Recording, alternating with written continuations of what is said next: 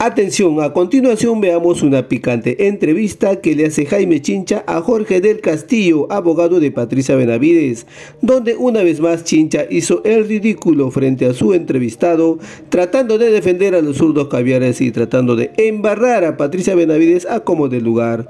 Pero una vez más Jorge del Castillo lo dejó en evidencia ante su público. Además, Castillo le preguntó a Jaime Chincha por qué no dices nada sobre los chats de Jaime Villanueva, donde menciona a Gustavo Gorriti, y Jaime Chincha, ni corto ni perezoso, le cortó la entrevista. ¿Ah? Los chats. ¿Qué tenemos con los chats? Eh, ¿Son ciertos? Eh, ¿Son auténticos Bueno, para ti? Para la ahí va- vamos a ver. Yo tengo aquí la prueba siguiente. Los chats salen del teléfono del supuesto Roberto o Roberta, ya no, sé, no sabemos qué es. Este Roberto le piden su teléfono, Un congresista. no lo da. Ya. Dice, lo voy a mandar por WhatsApp. Y manda por WhatsApp a un capitán Martínez de la policía. Martínez, o sea, manda pantallazo, Martínez, manda al WhatsApp, manda pantallazo de ya lo WhatsApp, procesa hasta la, hasta- saca varias copias, me imagino, y llega el expediente. Ergo, del lado de la fuente de Roberto, no hay certeza porque no ha salido de la fuente original. No se ha probado que haya salido de la fuente Pero original. Jaime Villanueva reconoce que son sus chats. Bueno, puede él reconocer porque está con una pistola en la cabeza diciendo si tú no reconoces te vas tres años a la cárcel. Tan así ¿Por qué dices una pistola en la cabeza? Porque, Pues una porque es la coacción, herramienta figurativa, digamos, ¿no? obviamente, ¿no? Pero obviamente, que lo reconozca ¿no? es Pero un sí, paso importante, pero- ¿no? Bueno, para él sí, porque se, libera, porque se libera de la cárcel. Pero él dice, No puede mentir. él dice hace tres días, ¿no? Que agarra su teléfono, lo rompe y lo tira por la ventana. Entonces él mismo Pero te olvidas de algo. El mismo, a ver, ¿de El qué? chip. Ya, ok. Pero el chip, una cosa es el teléfono. El teléfono guarda en dos formas. Ujú. ¿No es En la nube y en el chip. Ya, ok. En la nube tiene un lapso de tiempo. Sí. Eso Puede ser un día, dos días. Sí, claro, pero el, el lapso es 90 días. Mm, Pero esos chats son de agosto, de junio. ¿Y cuántos días han pasado? Mucho. ¿no? Ah, bueno. Estaban en la nube, entonces. Entonces ya no hay. No, sí, se No, quedan no, en la no, nube. no, no, ya no hay. Te lo garantizo. Hay, hay. Jorge. Resulta que, discútelo con el perito, No, no, lo digo, invitamos y ya lo invitamos al Pruébate perito y lo, y lo hacemos. Pero en todo caso, Pero sí se.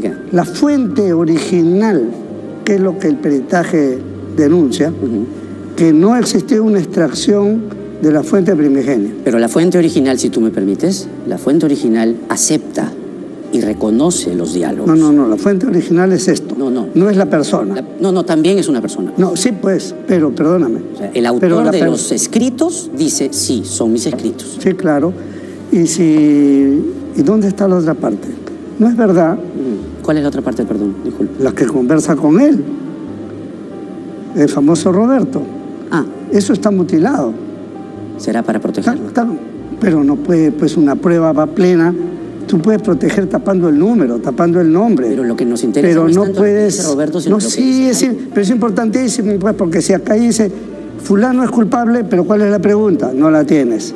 Entonces, Pero la respuesta una interacción de conversación implica para que tenga valor de prueba que vaya el documento completo.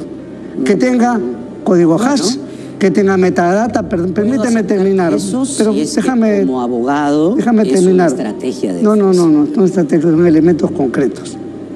Tan así que la Corte Suprema acaba de sacar en una sentencia, en un caso muy importante, una consideración muy, yo diría que es central en este tema. Él dice, no es suficiente pantallazos.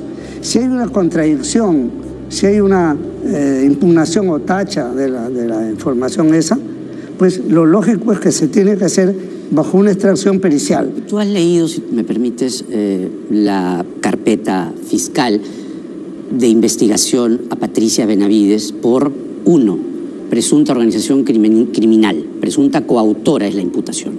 Remoción de Bersabet Revilla, falsedad ideológica, presunta instigadora. Sobre las presuntas acciones ilícitas realizadas con el congresista José María Balcázar, presunta autoría, presunta instigadora. Presuntas acciones ilícitas realizadas con congresistas para la elección del defensor del pueblo. Y sigo.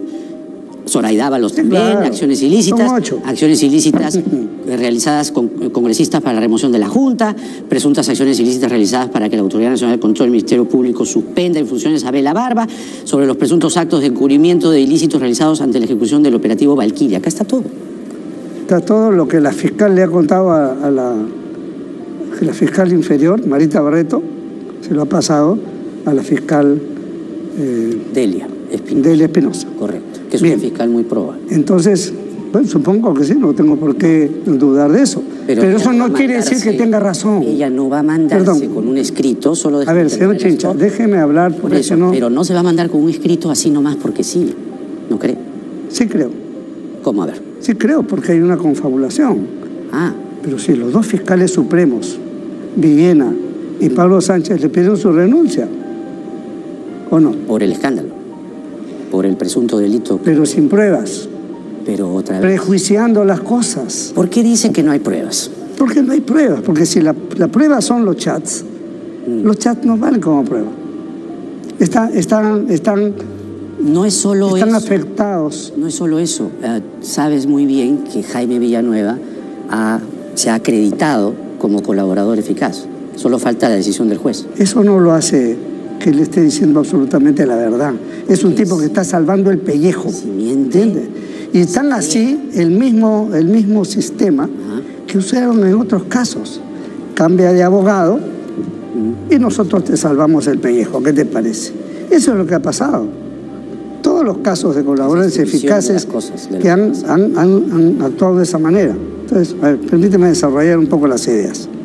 En primer lugar, este es un tema en el que se presume que hay toda una confabulación de hechos que cierra acá.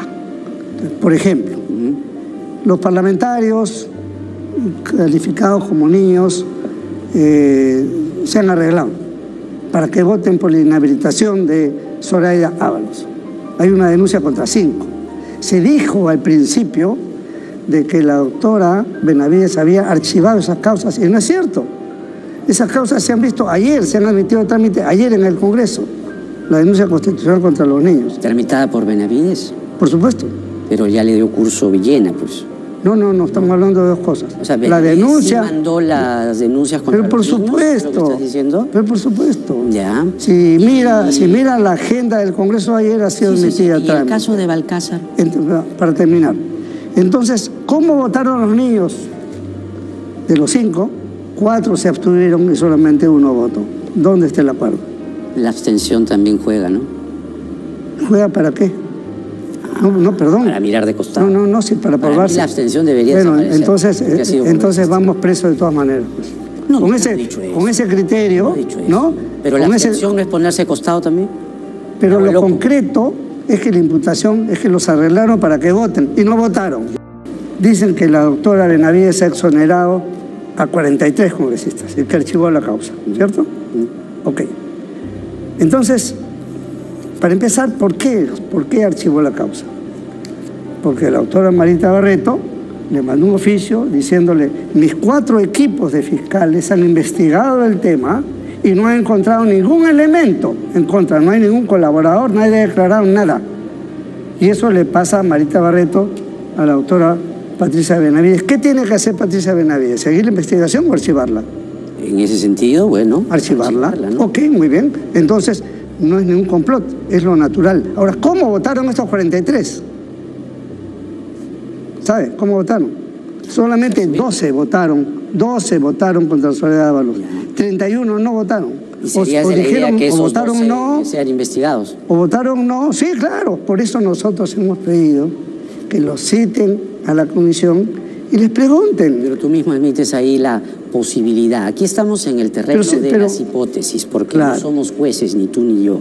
Entonces, valoramos las cosas, las leemos, Pero- pero, tenemos documentos a la ¿cómo- vista. Entonces, no son 43, son 12. Al decir 12, de alguna manera cualquiera Estimado puede pensar que también ahí hubo Eh, no somos jueces. tratativas. No somos jueces, pero anoche Jaime Chincha le dijo al público, ya veo el verdadero rostro de Patricia Benavides. Eso me pareció francamente una... Es una forma de decir las cosas. Una forma de decir, una forma de descalificar será. Mira, por otro lado, mira, ya, ya está claro que los, ni los niños, ni los 43 congresistas en los cuales ellos estaban incluidos, ni han votado, ni se les ha archivado las causas. 12 sí votaron. También, pues, que venimos de los 12, pero eso no es... Pero, pero ¿cómo, es, ¿cómo es esto que la tesis ha arreglado 43 y solamente votan 12? Pero que sean 12 no exculpa de la investigación. No, pero ¿quién dice que es culpa de la investigación? La investigación tiene que seguir y concluir en su momento. claro. No, yo no digo que se corte nada. Entonces- Lo que yo digo es que hay que ser claro en que no se puede corroborar porque no cierra el círculo del tema. Si no votaron, si no archivaron las causas, votaron, el mismo, el mismo Balcázar que tanto dicen, Balcázar tampoco votó, Pero recibió el favorcito del trabajo para la nueva. pero no funcionó porque lo dejaron sin efecto en una semana. Dos resoluciones hubo. Sí, claro, una a favor y otra en contra. Pero él no votó.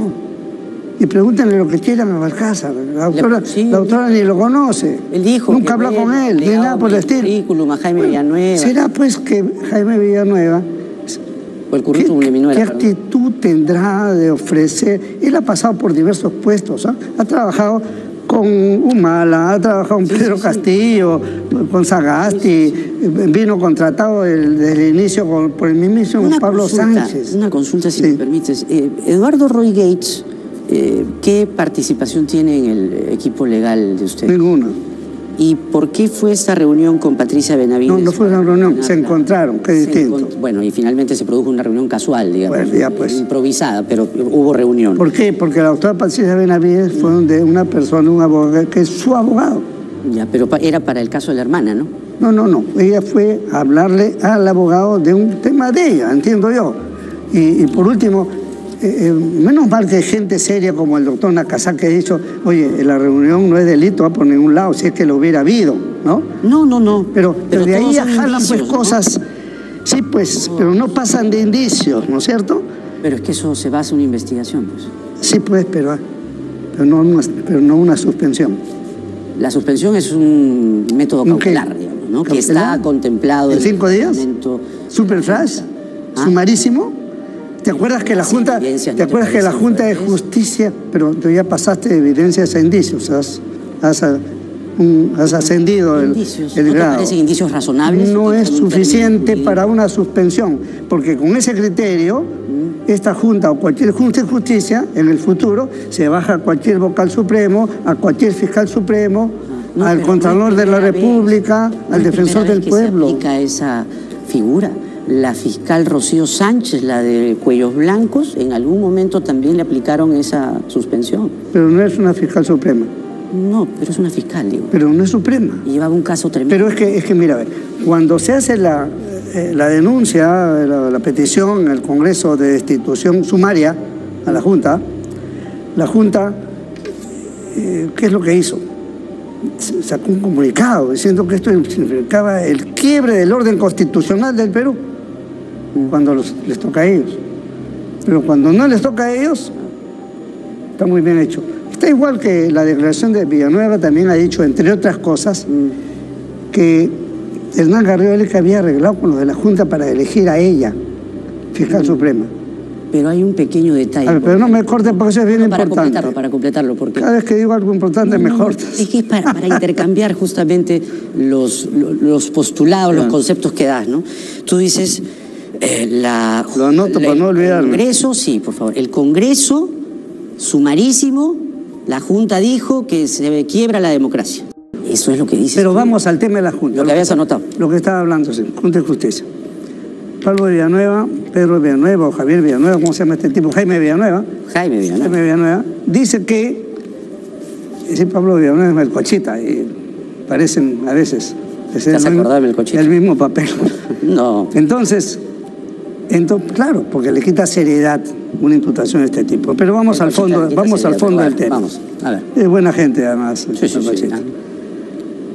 En este tema, cuando él imputa que la Junta de Justicia ha sido arreglada para elegir a la autora Benavides fiscal suprema,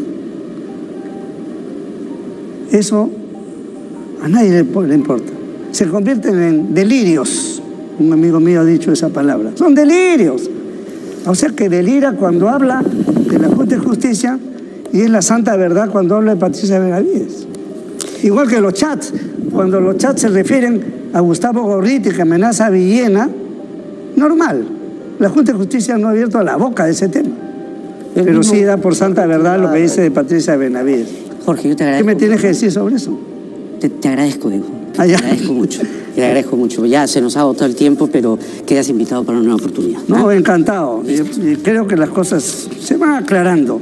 Y por supuesto que estamos en medio de una ofensiva.